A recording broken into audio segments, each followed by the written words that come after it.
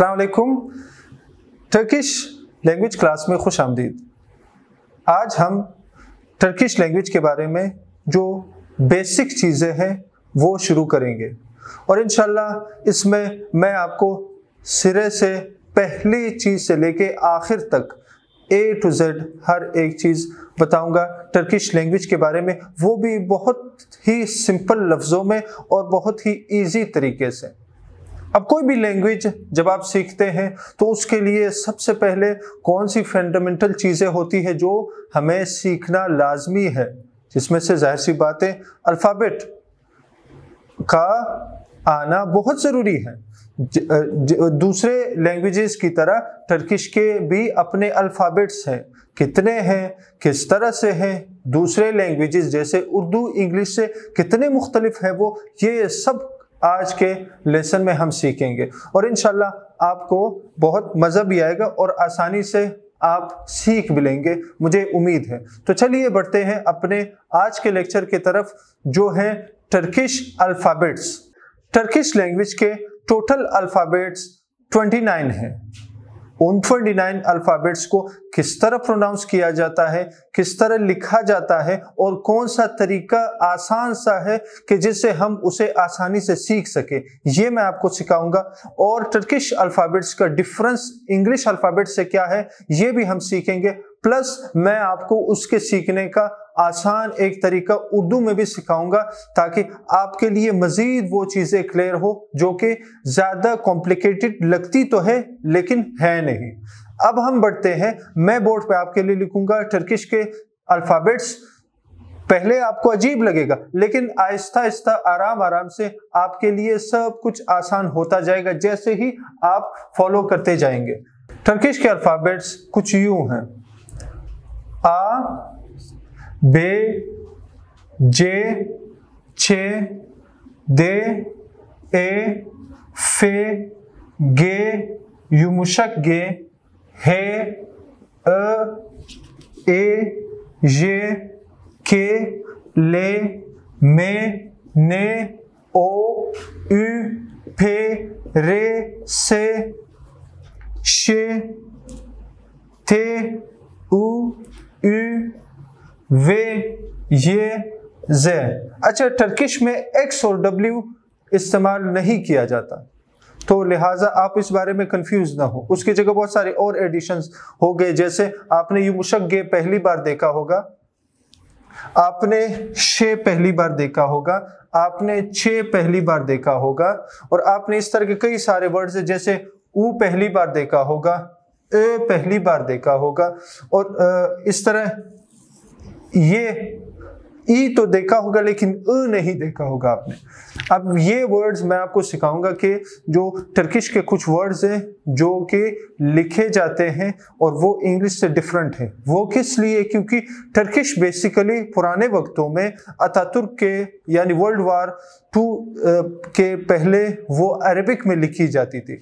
ज़ाहिर सी बात है अरबिक में हम छे का इस्तेमाल करते हैं हम जे का इस्तेमाल करते हैं हम ऊ जो पेश हम आ, का इस्तेमाल करते हैं तो वो सब कुछ वो एक्सप्रेशंस लाने के लिए टर्किश में छे युमुशगे उ शे इस तरह के जो अल्फ़ाबेट्स है उनका इजाफा किया गया है।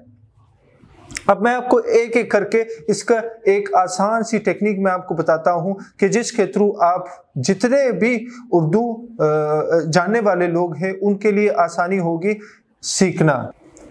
टर्किश के वर्ड भी इंग्लिश की तरह ही प्रोनाउंस किए जाते हैं, लेकिन आप सिर्फ़ और सिर्फ़ आखिर में ये लगा दें।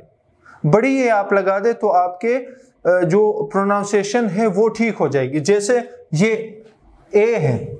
ए, ये बी नहीं है, ये बे है, ये जे है, ये छे है, ये दे है, ये ए है, ये फे है, आगे गे। इसी तरह जो बड़ी ये है, वो लगाते जाए लगाते जाए लगाते जाए और आपकी प्रोनाउंसिएशन ठीक हो जाएगी। मैं लिख भी देता हूँ आपकी आसानी के लिए। ये ए, बे, जे छ दे ए फे गे हे उ। अलिफ अ जो है वो बहुत ही स्मॉल वो जो वॉइस है अ यानी इसको अब ये जो है, ये ई है, ई।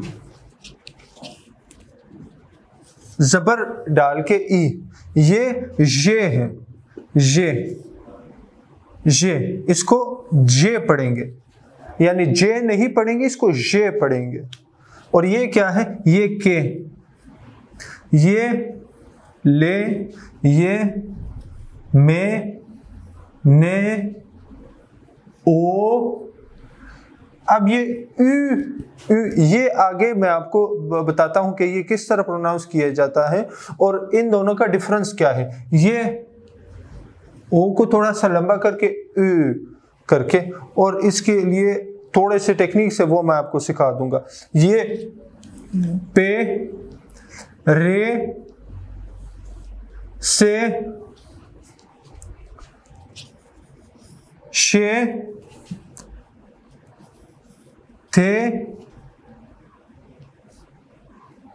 ऊ अच्छा इसके साथ ना ये ऊ इस तरह लिखा जाता है उर्दू में, क्योंकि अगर हम ओ लगाएँगे तो फिर, वाव लगाएँगे तो फिर ये ओ हो जाएगा। नहीं, ये ओ नहीं है, ये ऊ है ऊ अलिफ के ऊपर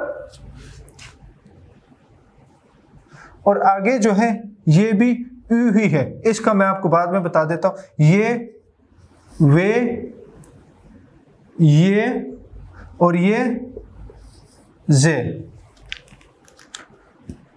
अब आपको क्लियर हो गया है कि कितने फेमिलियर हैं इनके अल्फाज हमारे उर्दू से। क्यों?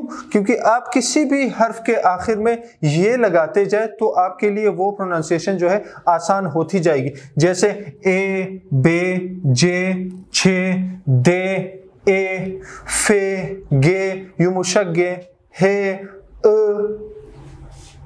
ई जे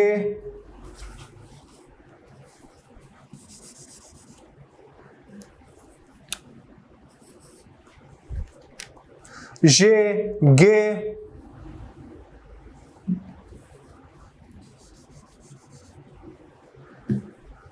जे के ले में ने ओ उ फे रे से शे ते उ वे ये जे काफ़ी आसान है। तो आप इसको इस टेक्निक से आप टर्किश के तमाम अल्फ़ाबेट जो है वो आप सीख सकते हैं।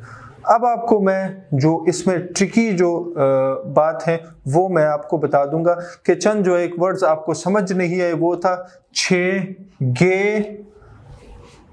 ई का तो आपको पता है उ का तो आपको पता है ये इसी तरह ओ, ओ और शे ये वर्ड आप लोगों ने पहली बार सुने हैं तो मैं इसके पीछे का बैकग्राउंड आपको बताता हूँ और आपको पूरी तरीके से यही वर्ड सिखा देता हूँ। कुछ ऐसे अल्फाज थे जो आपके लिए नए थे ट्रिकी थे, जिसका आपको पहले पता नहीं था। वो मैं आपको बताता हूँ कि वो किस तरह प्रोनाउंस किए जाते हैं और किस तरह के अल्फाज है वो। सी हमने दो तरह के लिखे थे, एक सी बगैर नुक्ते वाली और एक सी जिसके नीचे हमने एक छोटी सी लकीर वो मारी है। और फिर अ और फिर इसके ऊपर, एक के ऊपर छोटा सा नुक्ता और दूसरे के ऊपर कोई नुक्ता नहीं था, आई जो है। उसके बाद सी से ये एस के एक के ऊपर नुक्ता नहीं तो दूसरे के ऊपर हमने लाइन लगा दी है और ओ एक के ऊपर कुछ भी नहीं है और दूसरे के ऊपर एक हमने दो नुक्ते लगाए हैं। इसी तरह यू का भी इसी तरह है। एक सिंपल यू है, दूसरे के ऊपर नुक्ते हैं। तो ये जो नुक्ते वाली यू है, नुक्ते वाली यू किस तरह प्रोनाउंस किए जाते हैं? और ये जितने भी नुक्ते वाले वर्ड्स है या ये लकी, लकीरों वाले वर्ड्स है, ये किस तरह प्रोनाउंस किए जाते हैं? ये डिफरेंस ये है कि टर्किश में सी को सी नहीं पढ़ा जाता है। सी जो है, से जो वर्ड है, जो हम से यूज़ करते हैं, वो सिर्फ़ और सिर्फ़ एस तक ही महदूद है। यानी जो से है, वो सिर्फ़ और सिर्फ़ एस तक ही महदूद है। जितने भी से वाले वर्ड होंगे, चाहे वो से हो या से हो, वो सिर्फ़ और सिर्फ़ उसमें एस ही इस्तेमाल होगा। और जो जो सी है, सी को वो जे कहते हैं। जे। और दूसरी सी जिसके नीचे एक हल्की सी लाइन है, उसे छे कहते हैं। और ये अ है। अ। अ। सिंपल अलिफ जो है अ, जिसकी एक छोटी सी साउंड होती है, वो अ है। और ये क्या है? ये ई है, ए। और ये ए है, ए। इसके ऊपर जेर लगा के ए। और ये से है, मैंने आपको पहले भी बताया। ये क्या है? तो अगर ये से है तो ये क्या है? ये शे है। यानी सिंपल अल्फाज में ये सीन है और ये शीन है। उसके बाद ये ओ है। ओ और ये ऊ ऊ है ये। और ये यू यू नहीं पढ़ा जाता, ये भी ऊ है, लेकिन इसके ऊपर एक शब्द आएगी। और आगे ये जो है, इसको थोड़ा सा अगर हम जिस तरह हमने ओ को डबल ओ कर दिया तो इस शब्द को थोड़ा सा हम खींच के ना उ कर दे तो ये उसकी प्रोनाउंसिएशन है। और अब ए और ई, हम इसको ई पढ़ते हैं, लेकिन ये टर्किश में थोड़ा सा डिफरेंट पढ़ा जाता है। ई जो है, वो इसको कहते हैं। ई जो है, वो इसको कहते हैं। ये क्या है? ये ए है। ये ए है और ये ई है और ये अ है, अ अ। अ। ये अ पढ़ा जाता है, ये ए पढ़ा जाता है और ये ई पढ़ा जाता है।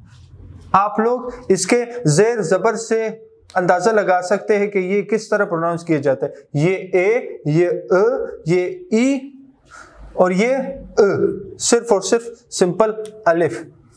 ये मैं इसको ब्रैकेट में लिख देता हूँ ताकि आप दूसरे से इसको आ, वो कंफ्यूज ना करें। जाते लेकिन इंग्लिश में इनके लिए इन्होंने अपने अल्टरनेटिव्स ढूंढ लिए थे जो कि से जे छे के शक्ल में आप लोगों को मैंने सिखाया है। उम्मीद है आपको समझ आ गए होंगे। इनशाला अगले लेसन में मैं आपको पढ़ाऊँगा वॉवल्स वॉवल्स बहुत इंपॉर्टेंट है टर्किश लैंग्वेज में क्योंकि एक वॉवल पूरे टर्किश लैंग्वेज में एक वर्ड का पूरा स्ट्रक्चर तब्दील कर देता है और एक वॉवल की वजह से वो पूरा लफ्स बदल जाता है। यानी उनके बनने का तरीका कि उसके आगे कौन कौन से वर्ड्स आएँगे वो आ, कलन होंगे वो इंजे होंगे। ये मैं आपको बताऊँगा अगले लेसन में। फ़िलहाल के लिए अल्लाह हाफिज़। हमारे साथ रहिए।